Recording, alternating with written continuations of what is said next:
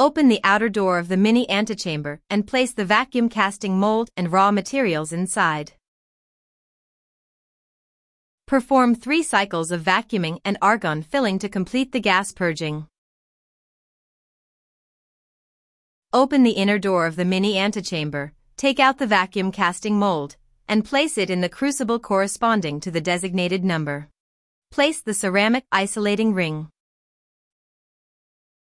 Put on an additional layer of protective gloves over the glovebox gloves to prevent sharp objects from damaging it. Insert the 316L stainless steel tube into the vacuum casting mold. Adjust the current and set the parameters. Conduct the first pre-melting with a current of 200 A.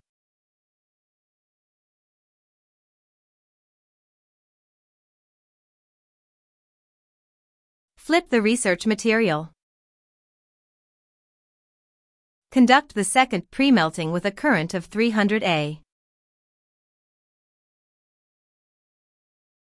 Flip the research material.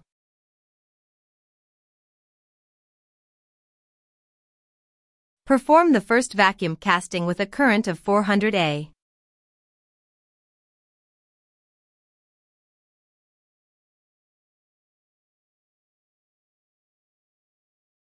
For molds where vacuum casting was unsuccessful, flip the research material again.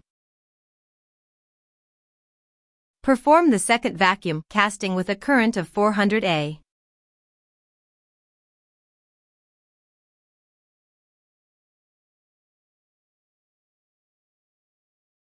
After completing the vacuum casting, remove the mold and place it into the mini antechamber.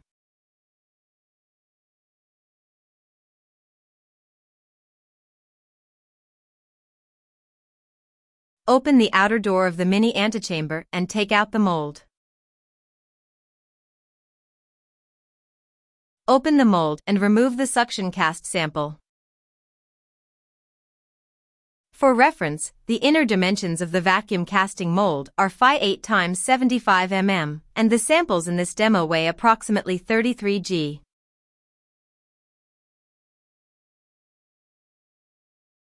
MTI, the leading provider of scientific equipment for material research.